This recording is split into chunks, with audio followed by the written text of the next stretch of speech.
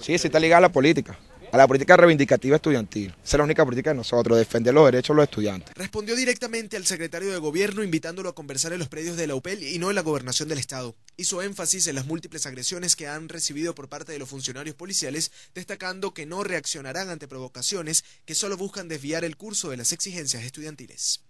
Bueno, mira, realmente, nosotros también le tenemos muy buenas noticias a él y las puertas de universidades también están abiertas. Yo pienso que nosotros también somos un gremio electo por la población estudiantil y la universidad es un universo, un mundo de ideas donde todos pueden entrar, donde no importa el color, la raza, religión, partido político. De igual manera, así como ellos nos están invitando para la gobernación, también están ellos completamente invitados para que se reúnan con nosotros en la federación.